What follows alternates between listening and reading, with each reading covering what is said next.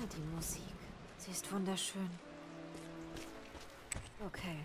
Beds Hinweise erwähnen Moms Gemälde und ihren Hochzeitstag. Hoffentlich finde ich im Westflügel ein paar Antworten.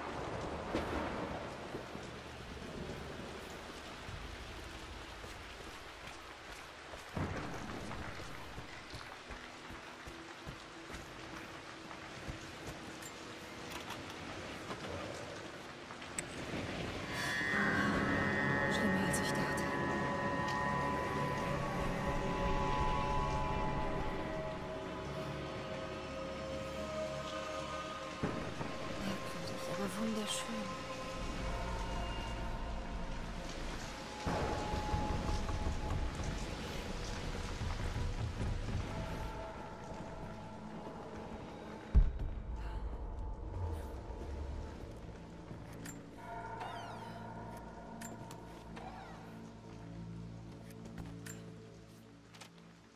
Ohne Emilia ist das Haus nicht mehr dasselbe. Finsternis erfüllt es. Eine Ruhe, die ich nicht ertrage. Auch wenn Lara noch zu klein ist, um zu verstehen, was passiert ist, spürt auch sie die Veränderung. Sie hat nur einmal nach ihrer Mutter gefragt und ich fürchte, meine Reaktion hat ihr Angst gemacht. Ich werde Winstons Hilfe bei Lara in den nächsten Monaten mehr denn je brauchen. Mir war nie bewusst, wie sehr Trauer einen Menschen zerstören kann. Doch ich bin am Boden zerstört. Ich weiß, ich kann dem Schmerz nicht entfliehen, doch ich werde alles tun, um ihn zu meiden. Ich werde den Westflügel verschließen, solange ich hier lebe. Es wird so bleiben, wie Emilia ihn verlassen hat. Vielleicht findet Lara eines Tages dort Antworten.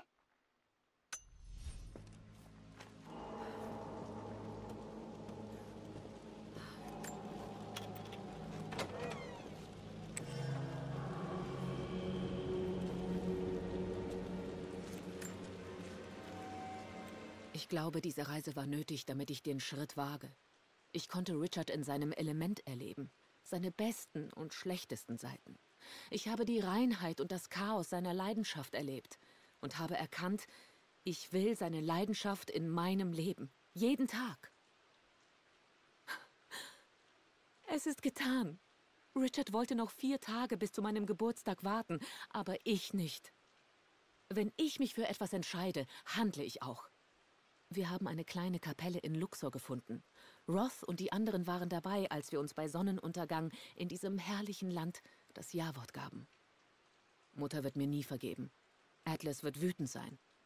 Aber das kümmert mich nicht mehr. Ich bin frei von den Verpflichtungen der Demornés. Frei, meinen Leidenschaften zu folgen, umgeben von jenen, die mich ermutigen und herausfordern. Ich freue mich auf die Zukunft, was immer sie bringen mag. Morgen kehren Richard und ich als die Crofts nach London zurück und gehen gemeinsam unseren Weg.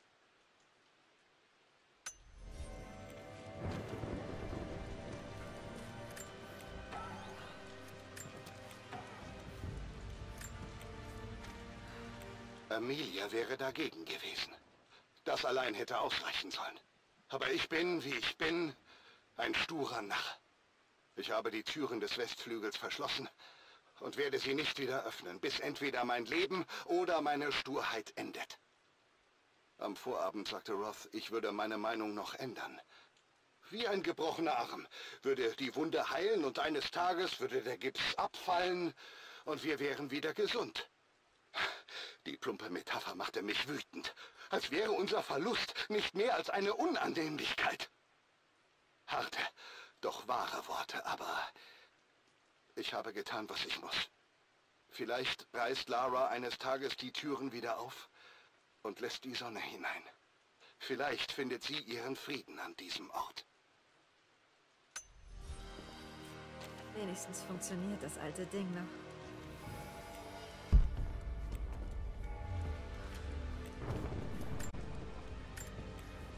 Ich platze vor Stolz. Emilia ist schwanger. Unglaublich, wie ein so simples Ereignis das ganze Leben verändert. Wir wissen noch nicht, was es wird, aber wir überlegen uns schon Namen. Vielleicht Benjamin, nach meinem Großvater. Oder auch ähm, Griffin? Er war ein noch berüchtigterer Croft als ich. Nein, Emilia ist dagegen und überzeugt, dass es ein Mädchen wird. Sie mag Klassiker wie Scarlett oder Kate, aber ich konnte sie für Lara begeistern. Eine Anspielung auf den Sonnengott Ra und unsere Zeit in Ägypten, in der das Kind gezeugt wurde. Ich denke viel über dieses neue Leben nach. Wie ähnlich sie uns wohl sein wird. Bei all meinen Forschungen zu Unsterblichkeitsmythen habe ich vielleicht die offensichtlichste Antwort auf die Fragen, die mich quälen, ignoriert. Wir leben durch unsere Nachkommen weiter. Unsere Gene, DNS, Erfahrungen. Weitergegeben über Generationen. Vielleicht ist das die simple Wahrheit des ewigen Lebens. Und ich war einfach nur zu stur, sie zu akzeptieren. Vielleicht hat Dad das Geheimnis der Unsterblichkeit entdeckt, ohne es zu wissen. Moms Ehering hat mich immer gefragt, was damit passiert ist.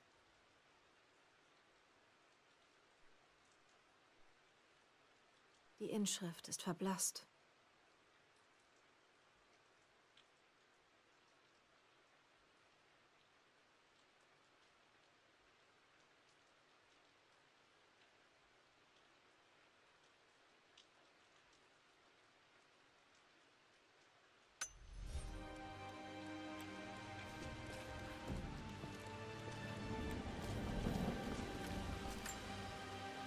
Das Parfum meiner Mutter.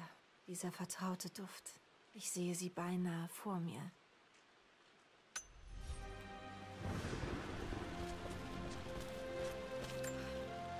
Ich erinnere mich. Den hat Dad Mom zum Geburtstag geschenkt.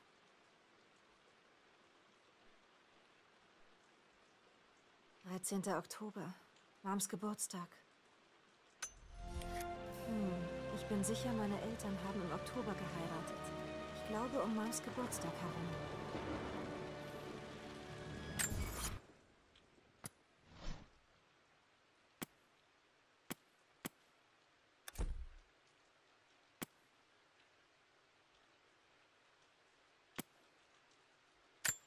Herrje, merk dir die Kombination, du alter Narr.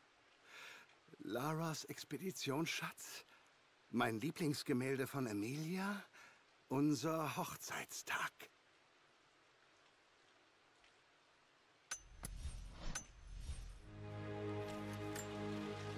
Hm, Mom an ihrem Hochzeitstag. Sie sieht so schön aus.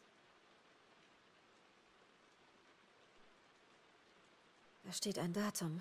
Irgendwas im Oktober. Mist, die Zahl ist verblasst.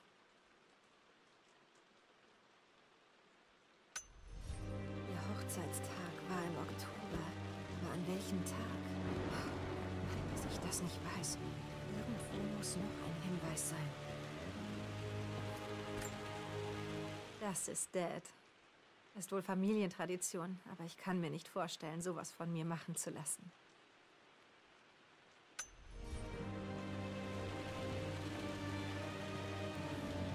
Nach allem, was Atlas Ich getan glaube, das war Dads Taschenuhr.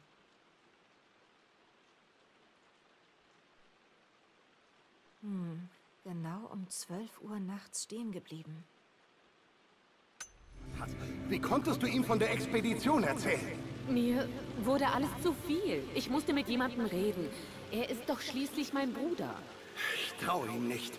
Musst du auch nicht, Richard. Aber bitte, vertrau mir. Tut mir leid, Liebling, aber ich kenne ihn. Er geht an die Presse, dann springen die Investoren ab. Dann geh, ohne mich. Heute Nacht. Ich kümmere mich um Atlas und treffe dich nächste Woche in Tibet. Ich war so jung. Aber an diesen furchtbaren Streit erinnere ich mich. Meine Eltern hatten es nicht immer leicht.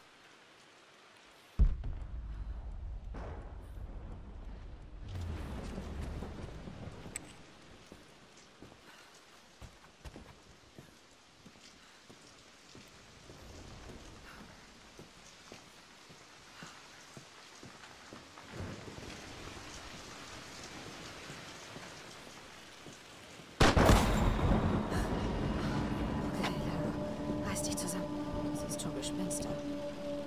Mams Atelier hat er das kurz nach ihrem Tod verschlossen. Bestimmt konnte er den Gedanken nicht ertragen, irgendwas von ihren Sachen wegzuräumen.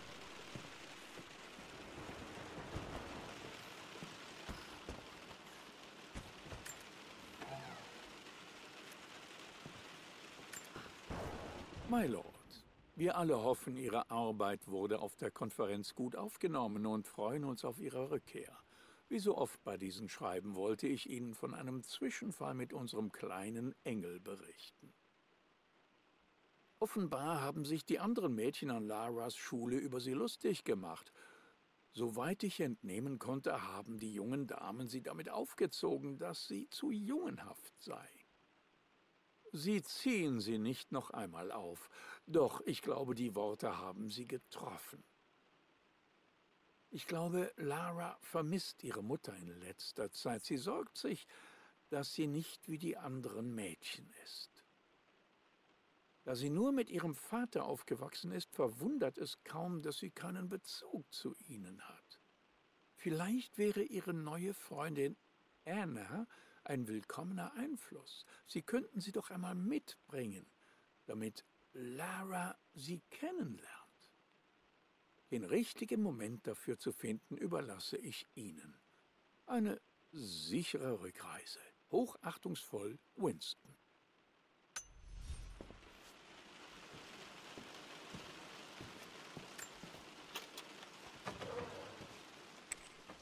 Seit Jahren unberührt, so wie sie es verlassen hat.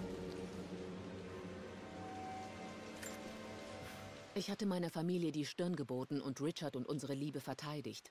Doch mit Einzug in das Croft-Anwesen kamen mir Zweifel. Wie sollte die Liebe in diesen gähnenden Räumen überleben? Hatte ich einen schrecklichen Fehler gemacht? Ich war noch nie so froh, mich geirrt zu haben. Richard hat mich mit einem Spiel auf den Anwesen willkommen geheißen. Es war eine Notiz aus fünf verschiedenen Sprachen, doch sie wies mir den Weg. Der nächste Hinweis war ein scheinbar leeres Stück Pergament in der Küche, wo die Wärme einer Kerze eine Nachricht aus Zitronensaft zum Vorschein brachte. Grinsend wie ein Kind habe ich seine Rätsel gelöst und bin der Spur bis zum Ende gefolgt. Eine weiße Tischdecke auf der Wiese und ein Picknick. Wir lachten und aßen, und mit dem Morgennebel schwanden auch meine Zweifel. Die Liebe kann und wird siegen.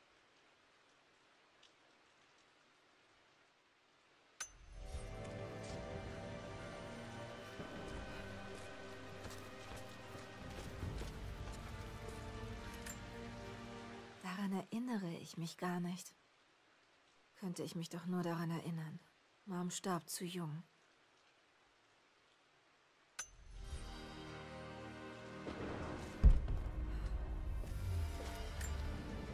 Mom mit mir als Baby.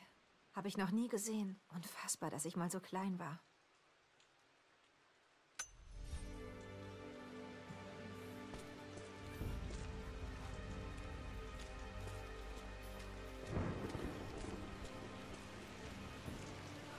Das war fast richtig, Schatz. Hier, ich zeig's dir. So, siehst du? Sehr gut, Laura. Sehr gut. Wie mein Leben wohl geworden wäre, wenn sie nicht gestorben wäre.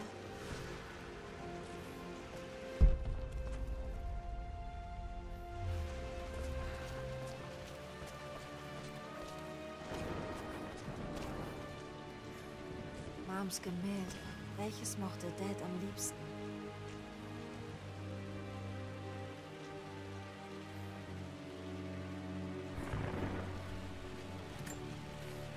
Ich war heute kurz daheim, um meine letzten Gemälde zu holen. Besser gesagt, im Heim meiner Familie.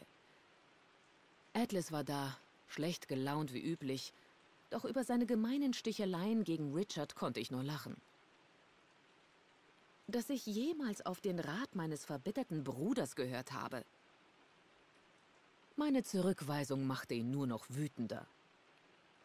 Ich ließ ihn vor sich hin brummelnd in Vaters Arbeitszimmer zurück – auf der Rückfahrt machte Winston einen Umweg durch die Landschaft und ich sah meine Gemälde durch, darunter auch Richards Lieblingsbild, ein abstraktes Bild mit roten Blöcken. Lächelnd beschloss ich, es ihm zu schenken. Ich war glücklich und auf dem Weg nach Hause.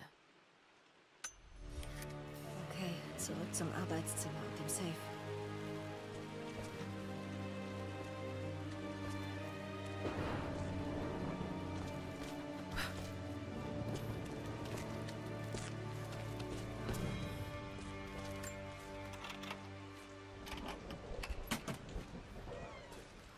War für eine Ausstellung von Mams Werken in London. Wie gern würde ich die heute sehen. Hm, hier steht, Amelia Croft plant, ihre Werke in New York zu präsentieren. Was wohl daraus geworden ist?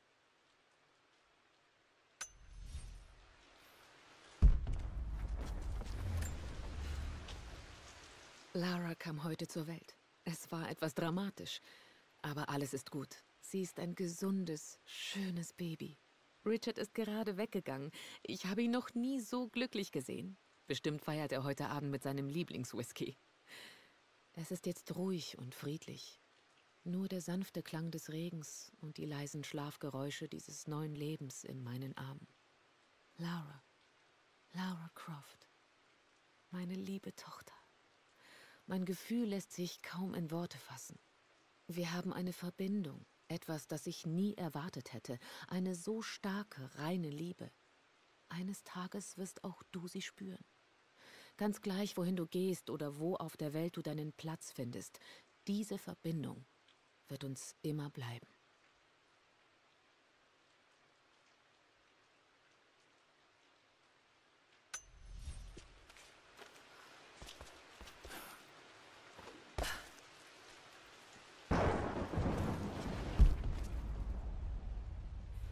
Schön, dass ich noch so viele von Mams Werken habe.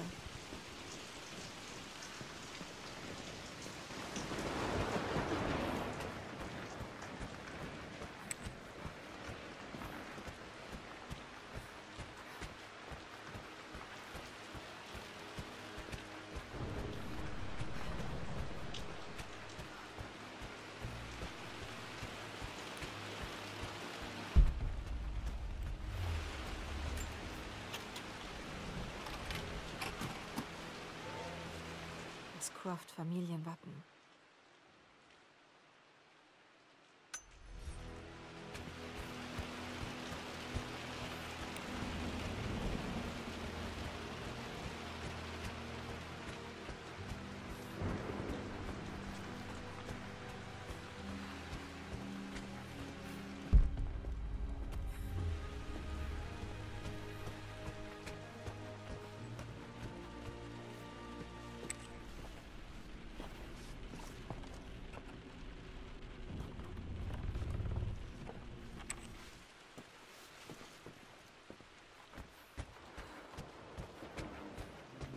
Dad, was bewahrst du hier drin auf?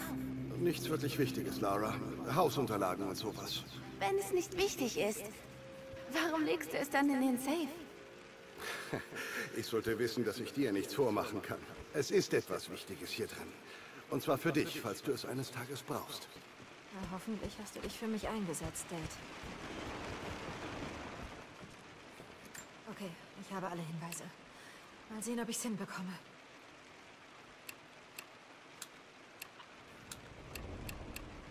Hm, nein. War's nicht. Nein, Fehlanzeige. Die Antwort muss in den Hinweisen stecken.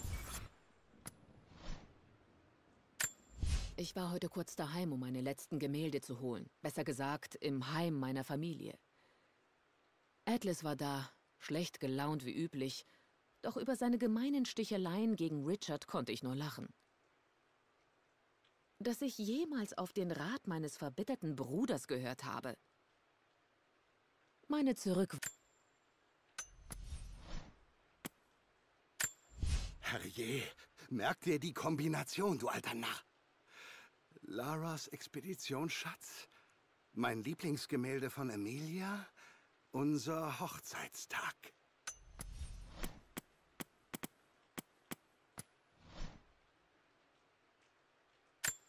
Die Pharaonenkrone von meiner Geburtstagsschatzsuche. Jetzt erinnere ich mich. Jeder Bezirk im alten Ägypten hatte ein Symbol und eine Zahl, Ich fand die Symbole schon...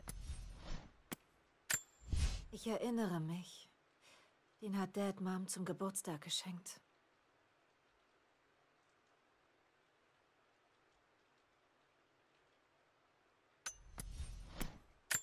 Die Pharaonen...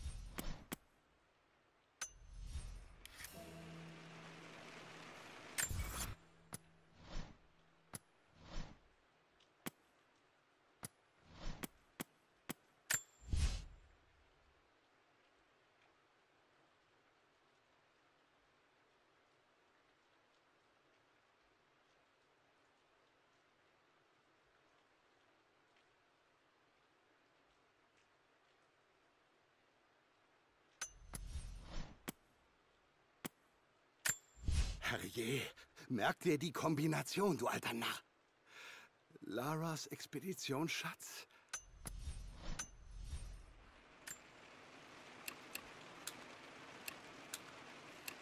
Hm, nein, war's nicht. Nein, Fehlanzeige. Die Antwort muss in den Hinweisen stecken.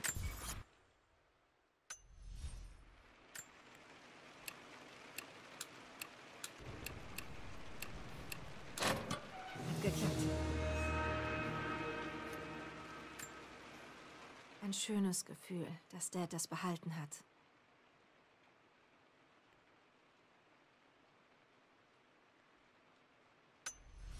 Nein, danach suche ich nicht. Ich bin wie betäubt. Es erfordert all meine Willenskraft, nicht der überwältigenden Trauer zu erliegen. Amelias Flugzeug in den Bergen abgestürzt. Sie starb allein im Schnee, in der Hoffnung, dass ich sie finde. Oh Gott, nicht sie, nicht jetzt. Ich ertrage das nicht. Ein Leben ohne sie ist unvorstellbar. Ich weiß, was ich tun muss. Ich bin entschlossen. Ich werde sie zurückholen. Vielleicht bin ich deswegen hier. Vielleicht ist das Schicksal ein Test meines Glaubens an die Wahrheit, die ich so lange suche. Roth wird dagegen sein, aber um Laras Willen, ich kann ihr nicht in die Augen sehen, wenn ich es nicht versuche, Amelia zurückzuholen. Die Mönche bereiten das Elixier zu. Dann wird sich zeigen, ob meine lange Suche nach der Wahrheit umsonst war. Dad, was hast du getan? Dads Fortsetzung zu seinem ersten Buch über Unsterblichkeit hat es nie veröffentlichen können. Handgeschrieben. Das ist das einzige Exemplar. Verdammt, auch nicht. Ich war sicher, dass... Halt! Was ist das? Hm, eine leere Seite.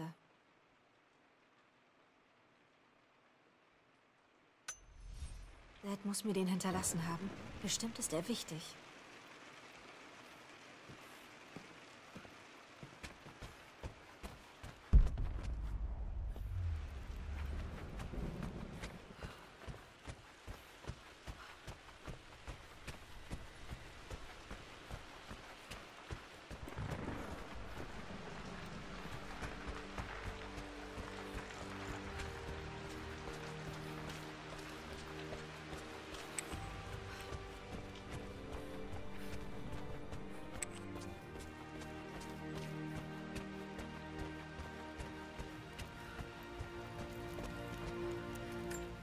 Eine Geheimnachricht.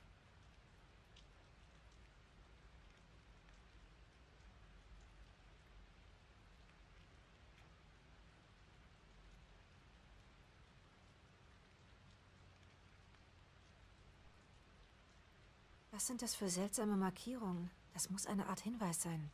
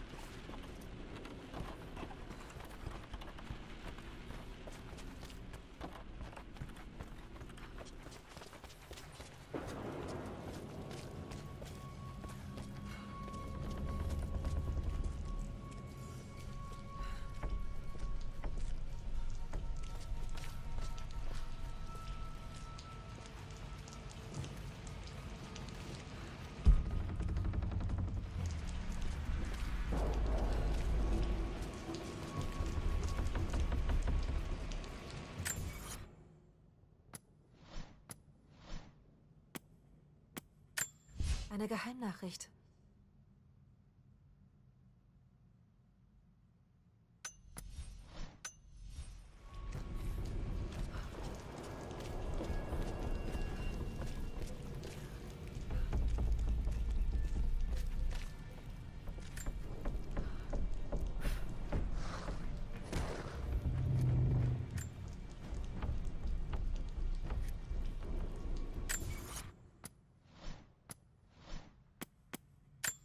Eine Geheimnachricht.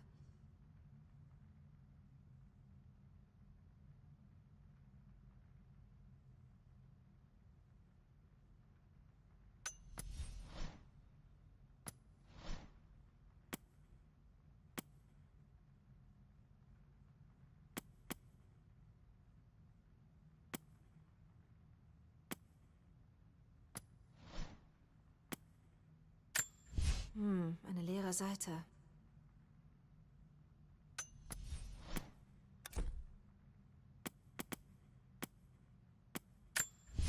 Jetzt erinnere ich mich. Jeder Bezirk im alten Ägypten hatte ein Symbol und eine Zahl. Ich fand die Symbole schon immer schöner als die Zahlenhieroglyphen. Geklappt.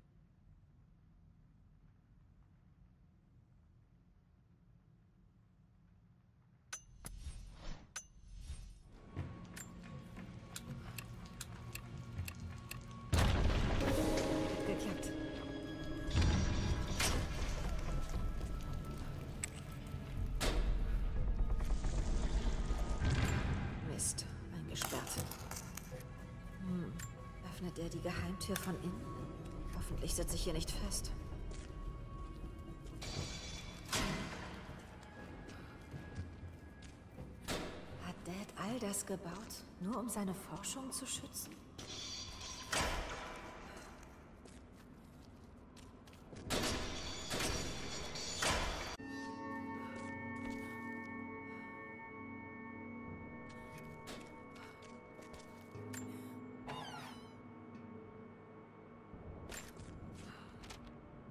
Die Renovierung läuft im Geheimen. Die Arbeiter, die Roth eingestellt hat, wurden fürstlich entlohnt, damit sie keine Einzelheiten festhalten. Und ich bin zuversichtlich, dass nichts von meiner Arbeit nach außen dringen wird. Ich habe meine Funde zu sorglos präsentiert und die falsche Aufmerksamkeit auf mich gezogen. Roth hält mich für paranoid, weil ich ein Geheimgewölbe baue, aber ich werde beobachtet. Meine Arbeit ist zu wichtig und vielleicht zu gefährlich. Sie darf nicht in falsche Hände fallen. Ich brauche einen sicheren Ort dafür.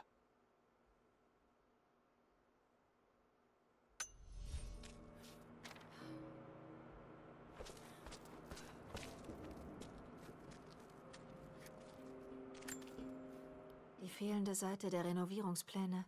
Sie wollten nicht, dass jemand außerhalb der Familie von der Gruft erfährt.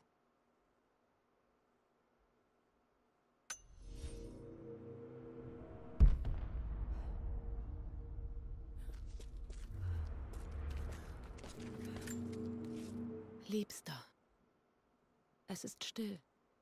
Es ist jetzt so friedvoll still. Selbst nach dem chaotischen und schrecklichen Absturz kann ich mich der Schönheit dieser Berge nicht entziehen. Ich verstehe, welche Magie dich hierher gelockt hat. Sei versichert, in diesem Moment spüre ich keinen Schmerz, nur große Traurigkeit. Traurigkeit, dass ich dein Lächeln nicht mehr sehen konnte. Dass ich nie die wundervolle Frau treffen werde, die unsere Tochter sein wird. Es gibt so viel zu sagen. Aber ich bin müde. Die Sonne geht unter. Die Kälte der Nacht wird mich überwältigen. Ich weiß, dass ich bald einschlafen und in dieser Welt nicht wieder erwachen werde. Ich habe Angst, Richard. Gibt es ein Jenseits? Du weißt, Glauben war nie meine Stärke. Darum halte ich jetzt an deinem fest. Ich halte ihn so fest, wie ich nur kann, Liebster. Werde der Vater, den Lara verdient. In ihr werde ich weiterleben. Mom starb ganz allein. Sie war so tapfer.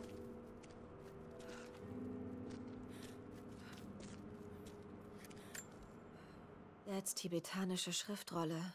Bis weit in die Nacht hinein hat er sie immer studiert.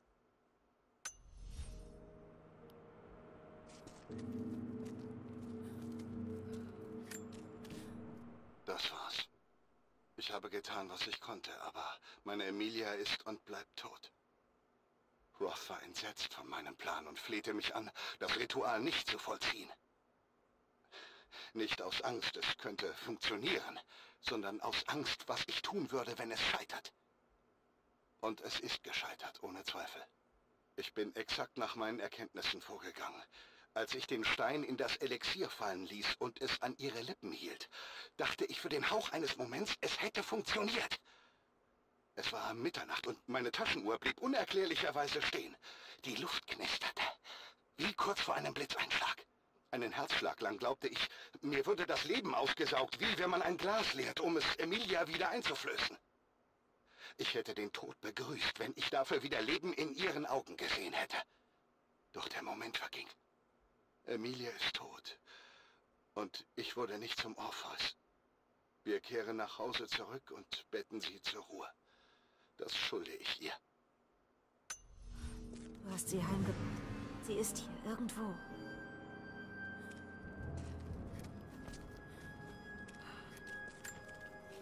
Richard, ich wollte letzte Woche persönlich mit dir sprechen, aber dein Diener hat mich verscheucht wie einen gemeinen Hausierer. Er sagte, du seist untröstlich und könntest noch keine Besucher empfangen. Er sagte, du gibst dir selbst die Schuld. Dazu kann ich nur sagen, absolut zu Recht. Ich hoffe, du leidest. Ich hoffe, dass du für den Rest deines Lebens unter diesem Verlust leidest. Ich hoffe, du lebst lange genug, um zu fühlen, wie dieser Schmerz wächst, statt zu schwinden. Denn das hast du verdient. Du hast uns Amelia genommen. Du hast ihren Ruf ruiniert und ihren Verstand mit Kinderfantasien vergiftet. Du hättest sie genauso gut mit eigenen Händen erdrosseln können. Kontaktiere mich nie wieder. Aber du musst für die Zukunft deiner Tochter vorsorgen. Hast du schon mal überlegt, dass es besser wäre, wenn du Amelia möglichst schnell folgst? Als Laras gesetzlicher Vormund könnte ich den Schaden, den du dem armen Mädchen zugefügt hast, vielleicht noch teilweise beheben. Wenn nicht, werde ich alles in meiner Macht Stehende tun, um den Namen Croft auszulöschen. Lara verdient Besseres als dich. Wie auch Amelia und wir alle. Atlas.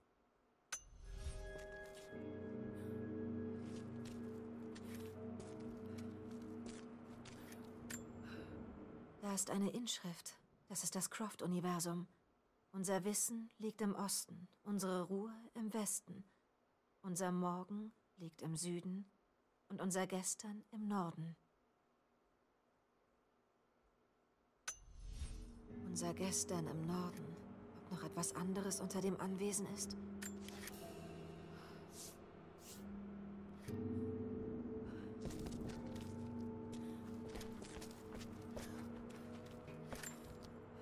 Die gehört zu einem Statuenset, das Dad in China gefunden hat.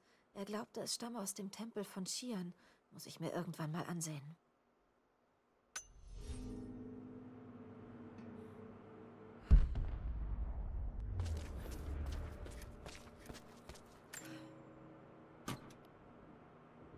Vielleicht gelange ich ja damit in andere Teile des Anwesens.